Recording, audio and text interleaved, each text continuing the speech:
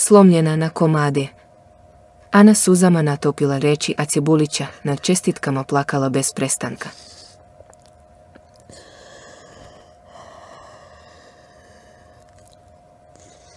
Ne može da se smiri Ana Ćurčić posle razgovora koji je imalča sa Zoricom Marković u hotelu Zadruga vratila se u Belu kući i uzeća da čita svoje čestitke koje je dobila za praznike, što je ponovo bacilo u očaj.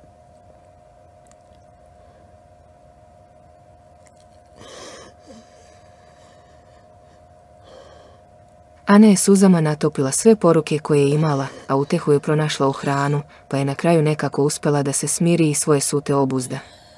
Šta će se dalje dešavati sa Anom i Zvezdanom i da li će biti još ovako teških i žestokih svađa, ostaje da pratimo u danima koji su pred nama.